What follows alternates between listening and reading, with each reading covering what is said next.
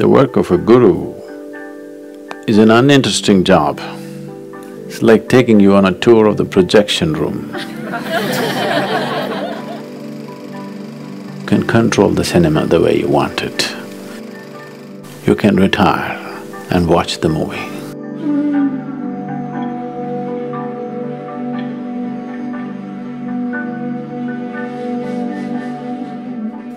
The sun neither rises nor sets, but what a glorious deception.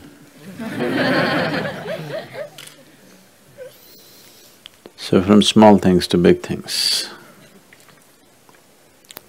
from the littlest of things in our lives to the largest things that you perceive, that is a series of deceptions.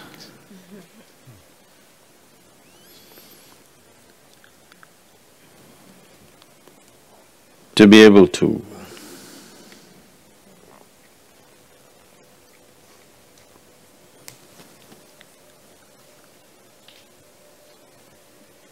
see the deception from backstage. If you've ever been in the theater, not the… okay, even the cinema theater. The drama is all real, what's happening there. But it's uh, just one light bulb and two wheels spinning. You go to the projection room and see, it's just one light bulb and two wheels spinning, that's all. So much drama. Love will happen, war will happen, fight will happen, peace will happen an enlightenment may happen. but it's just a light bulb on two wheels.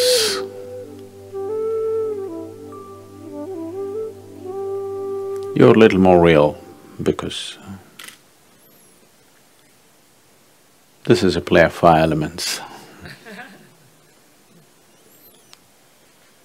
It is not about one who does not enjoy the play or the cinema is a fool. But one who gets caught up in the play or a cinema is a much bigger fool.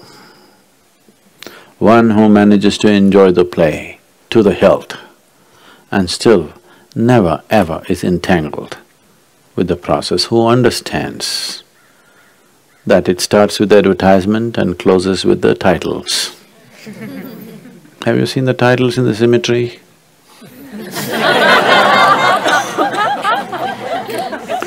All the actors who have been till now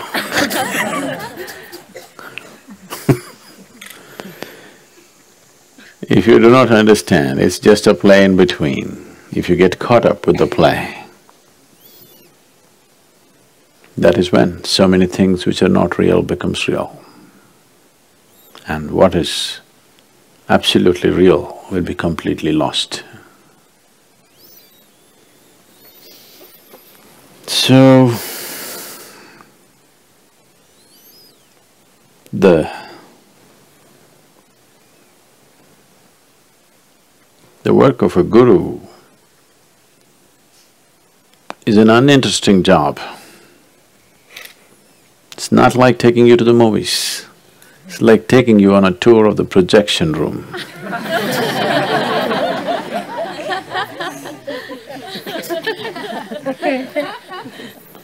but I promised you, if you behave, I'll take you to the movies.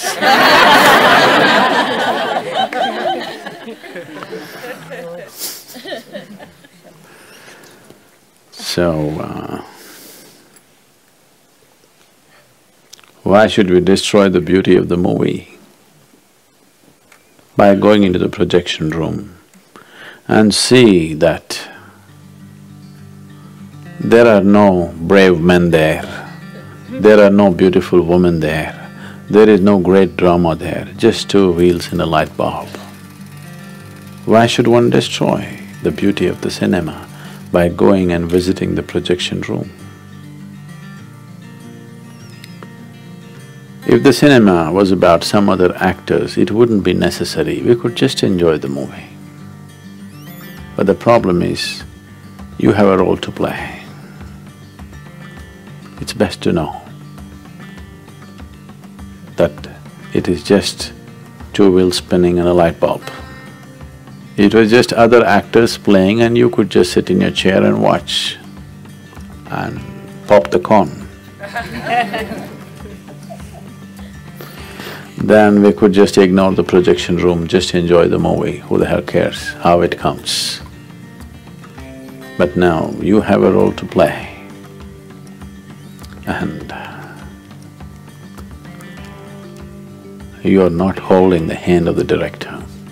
If a director does not hold the hand of an actor, even the stars, the very well-known stars will be a complete mess.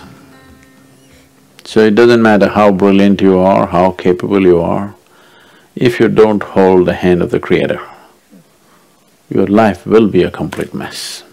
It doesn't matter, if you're successful, it'll be one kind of mess. If you're a failure, it'll be another kind of mess. If you know how to play the game, if you know how to play your role, and still you're conscious of the mechanics of the projection room, then you can control the cinema the way you want it. If you hold the hand of the director, then it can be a wonderful experience. And above all, you can retire and watch the movie.